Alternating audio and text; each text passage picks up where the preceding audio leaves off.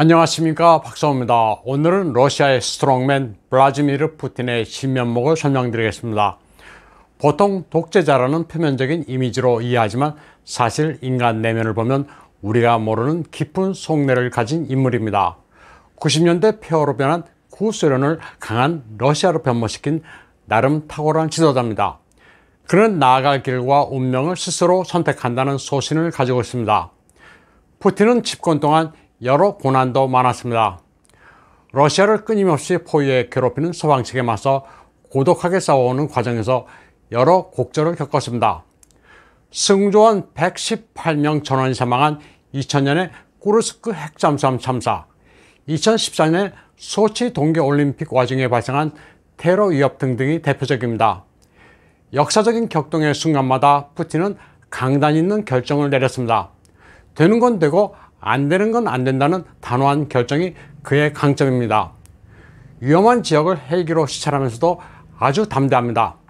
지상에서 혹시 총격을 가하더라도 예포로 생각하겠다고 합니다.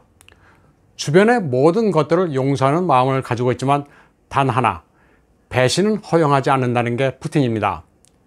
그는 누구와도 마음을 터놓고 논쟁도 할 수 있다고도 말합니다. 궁지에 몰렸을 때 차라리 떠나고 싶지 않느냐는 질문에는 마음을 비워야 하며 그런 상황은 존재하지도 않고 앞으로도 그럴 것이라고 말합니다.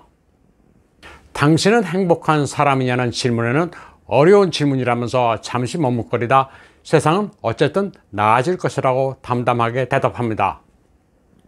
권좌와 권좌에서 내려오는 사다리는 서로 가까운 만큼 일상적인 일은 언젠가는 마침표를 찍는다는 생각을 가지고 있습니다.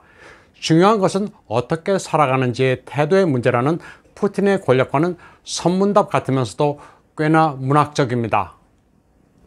그는 Gentleman of Luck이란 러시아 고전 코미디 영화의 한 장면을 예로 들면서 구소련이 해체된 뒤 서방 세계가 러시아를 프레임에 가두려 하고 포지션을 지정해 주려 한다면서 분개하고 있습니다.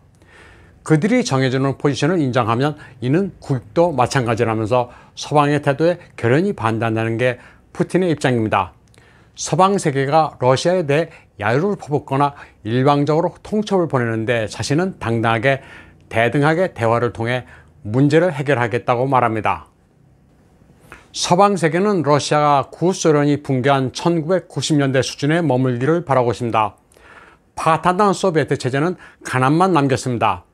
당시 여성 복싱 선수였던 나탈리아 라고지나는 스니커 한 켤레를 얻기 위해 분투했던 어려운 시절이라고 회고합니다. hyper inflation으로 민생이 도탄에 빠졌던 시기였습니다.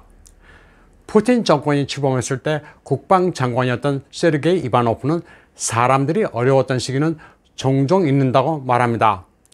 인민 배우를 지냈던 세르게이 롤드키는 당시에는 하늘을 제대로 나는 비행기도 없었고 군대도 부패 무너졌던 시기라고 말합니다. 모두 절망에 빠졌을 때 세간에서 노예하고 공격적이라고 평가하는 푸틴이 등장했다고 회고합니다. 그리고 푸틴이 실행한 정책들은 크게 멋져 보이지는 않았지만 효과가 나타났다고 평가했습니다. 블라디미르 푸틴의 업적 가운데 하나는 2014년 소치 동계올림픽을 성공적으로 치른 것입니다. 상실의 시대를 겪은 뒤 포뮬러 1 경기장도 마련하고 나름 힘든 국책을 수행했습니다. 2014년 2월 7일 개막된 소치 동계올림픽의 뒤안길에는 잘 알려지지 않은 비사도 있습니다. 개막식을 1시간도 남겨놓지 않은 상황에서 비상 상황이 발생했습니다. 4만 관중이 모인 주 경기장에는 88개국에서 온 선수들이 입장하려던 순간이었습니다.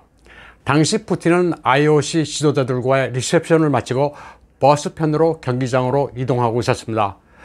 그때 보안 담당 측근이 긴급한 상황을 보고했습니다. 우크라이나에서 이스탄불로 가던 여객기 한 대가 하이재킹을 당했습니다. 납치범들은 여객기를 소치에 착륙시키라고 요구했습니다. 러시아 전투기들은 긴급 발진했습니다. 납치된 여객기는 터키의 저가 항공 페가수스의 보잉 737로 하리코프에서 이스탄불로 가고 있었습니다. 여객기의 조종사는 가까스로 납치범이 폭탄으로 위협을 하고 있다고 SOS로 전했습니다. 납치범이 뭘 원하는지는 알 수 없었던 상황이었습니다. 9.11 테러처럼 혹여 주 경기장으로 비행기를 자폭시키면 상상할 수도 없는 비극이 발생할 수도 있었던 긴장된 순간이었습니다. 당시 푸틴은 아주 대담한 지시를 내렸습니다. 지금 생각해도 가장 최선이라고 그는 말합니다. 승객이 110명이 타고 있었지만 가까이 접근하면 격추하라는 것이었습니다. 4만 관중이 집결한 주 경기장에 돌진하도록 허용하는 것보다 여객기를 격추시키는 것이 합리적이라는 판단이었습니다. 다행히 여객기 조종사는 조종석 문을 잠그고 대치하면서 원래 목적지인 터키 이스탄불로 날아가 전투기가 민간 여객기를 격추하는 일은 벌어지지 않았습니다. 대담한 푸틴도 그때만큼은 긴장했습니다. 주 경기장에서 토마스 바흐 IOC 집행위원장은 안절부절하던 푸틴에게 무슨 문제가 있느냐고 물었습니다. 이에 대해 푸틴은 아무 문제 없다고 대답했습니다.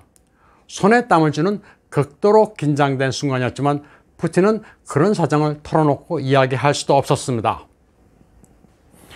보리스 예일친이 대통령이었을 때 푸틴은 FSB 국장이었습니다. 당시 푸틴은 그다지 알려진 인물은 아니었습니다. 예친은 1999년 10월 31일 대통령 자리에서 물러났습니다. 새로운 세대의 지도자가 엄청나게 막단 일을 맡게 될 거란 말을 남긴 예친의 빈털터리 유산을 푸틴이 이어받았습니다. 바로 이날 태어난 러시아의 밀레니얼 세대인 아나스타시아 율라예바의 가족들은 험난한 시기를 극복해냈습니다. 부친이 그의 바다에서 숨져 어머니가 자녀들을 홀로 키웠습니다. 사인에 사는 아나스타시아의 어머니는 당시를 생각하면 숨이 막힌다고 말합니다. 너무나도 가난해 새벽 5시부터 손에 피가 나도록 쉬지 않고 일을 했다고 회고합니다. 그나마 지금은 자가용의 작은 아파트도 있어 얼마나 행복한지 모른다고 말합니다. 아나스타샤는 대학에서 화학을 전공한 뒤 사관학교에 들어갔습니다. 법률가나 금융인이 되는 다른 또래들과는 달리 국방과 과학 발전을 위해 진로를 선택했다고 합니다.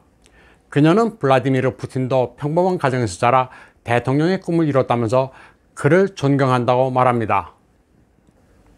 푸틴의 부친 블라디미르 스피리도노비치는 마리아와 정교에서 결혼하고 세례를 받았습니다. 푸틴이 태어난 집에서 가까운 교회에서 세례를 받았는데 푸틴은 대통령이 된 지금도 그 교회를 찾습니다. 푸틴은 사람이 살면서 사랑보다 더 중요한 것은 없다고 이야기합니다. 푸틴은 사람들을 향한 선한 태도가 사랑이라고 정의합니다. 우리 한 사람 한 사람이 다른 이의 일부라는 마음이라고 설명합니다. 이웃에 대한 따뜻한 태도를 국가로 확장하는 게 바로 애국이라고도 말합니다. 푸틴이 막 정식으로 대통령이 됐었던 2000년만 하더라도 러시아군은 엉망이었습니다. 나라가 가난해 전력 증강은커녕 낡은 무기들이 치명적 결함을 드러내기 시작했습니다. 러시아군 최악의 비극이었던 핵잠수함 쿠르스코 참사가 바로 2000년에 발생했습니다. 바렌츠에서 훈련 중인 크루스코호에서 의문의 폭발이 발생해 108m 깊은 바다로 가라앉았습니다. 대통령 자리에 앉자마자 발생한 비극에 푸틴도 어찌할 줄 몰랐습니다. 낙후한 장비가 불러온 잠수로 잠수함 내 어뢰 발사관에서 발생한 화재가 폭발로 이어져 승조원 118명 전원이 사망한 사고였습니다. 지금도 푸틴은 당시 사고를 생각하면 침울해집니다. 푸틴은 당시 수병들이 부정기적으로 나오는 쥐꼬리 월급에 가족들의 생활도 어려웠다고 회고합니다. 소련이 해체된 뒤 러시아 사회뿐 아니라 군대도 아주 참담한 지경이었다고 말합니다. 꾸르스크 잠수함 사고가 난 뒤 수백 명의 해군 가족들이 당국의 설명을 듣기 위해 북해 함대 비디아야보 본부에 모여들었습니다. 슬픔에 빠진 가족들은 격앙된 상태였습니다. 이때 푸틴은 직접 가족들 앞에 나타났습니다. 대통령으로서 책임을 지고 최대한 그들을 돕고 싶었다고 당시를 회고했습니다. 푸틴은 해군 가족들과 1시간 반 동안 진지하게 대화했습니다. 푸틴은 굉장한 용기를 냈습니다. 구조 가능성이 없어 포기할 수밖에 없다고 솔직하게 말하고 가족들을 설득시켰습니다. 정직하게 가족들에게 사실을 말하자 그들은 이해하기 시작했다고 말했습니다. 토론 중에 가족들은 당연히 숨이 막힐 지경이었지만 끝까지 참고 자신의 이야기를 들어준 데 대해 지금도 감사한다고 말합니다. 참사 당시 선미 부분에 있었던 15명의 승조원은 몇 시간 동안 더 생존해 있었던 것으로 알려지고 있습니다. 가족들과 만나기 전 푸틴은 잠수함 설계자들과 회의를 갖고 구조 방안을 논의했습니다. 정확히 예스냐 노냐를 솔직하게 말하라는 푸틴의 말에 전문가들은 가능성이 희박하다고 대답했습니다. 결론적으로 푸틴은 자신이 책임지고 참사를 수습했습니다. 서방 언론에서는 이를 두고 군사 기밀 누설을 우려해 외국의 도움을 거절했다고 보도하고 있지만 늘 그렇듯이 왜곡 보도일 가능성이 높습니다. 푸틴은 측근들과도 격이 없는 모습을 보여주기도 합니다. 평소 약속한 대로 악기 연주를 하라고 식사 자리에서 지시합니다.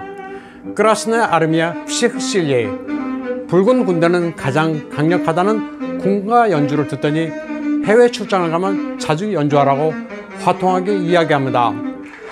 푸틴은 러시아인들의 모든 세대가 보존 정신을 가지면 영웅이 될 수 있다고 말합니다. 이기심이 없는 영웅을 그는 강조합니다.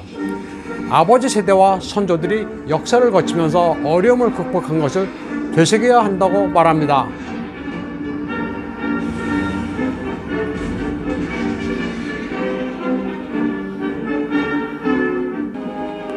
블라디미르 푸틴은 부친부터 독일의 침략에 전장으로 달려간 애국자였습니다.